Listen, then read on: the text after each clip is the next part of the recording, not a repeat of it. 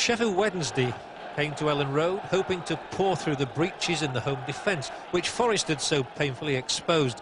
But instead, they found themselves under attack right from the kick-off through to the final whistle. Imre Varadi scoring in a rare first-team appearance and confirming the manager's reputation for inspired substitutions.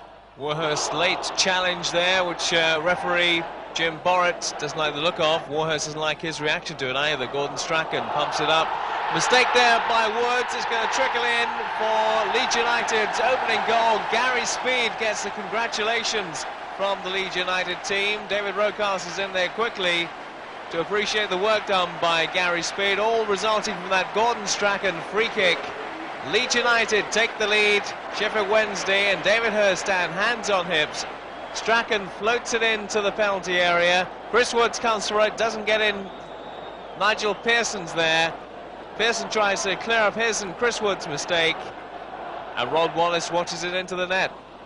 Again, Chapman waiting for the pass, which nearly came to him from Wallace. But now Sheffield Wednesday on the break.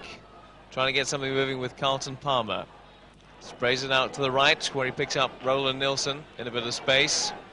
Chris Waddle waiting. Good run by Nilsson. Nilsson takes a shot, deflection, and Lukic had it covered initially until it got that wicked deflection en route to goal.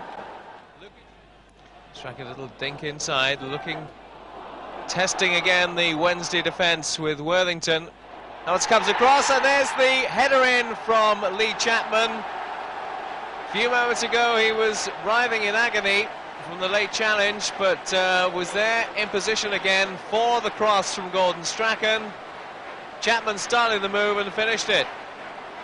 Strachan looks up, takes it inside the Wednesday defence, looks again, goes past John Harkes, is almost if he's standing still, gets to the byline past Worthington, and they're rising above a fairly uh, statutory Sheffield Wednesday defence.